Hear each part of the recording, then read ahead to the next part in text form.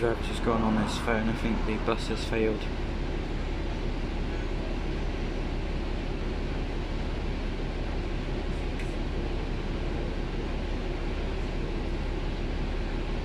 I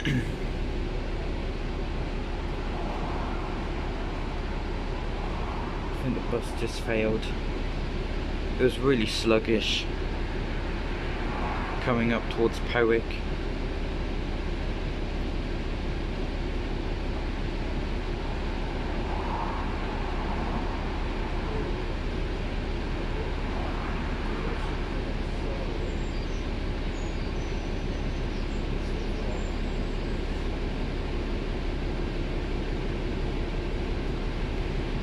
Well, this is actually really disappointing because it's my first time on an Enviro 400 and it looks like it's failed. Unless it might be the driver just going on his phone.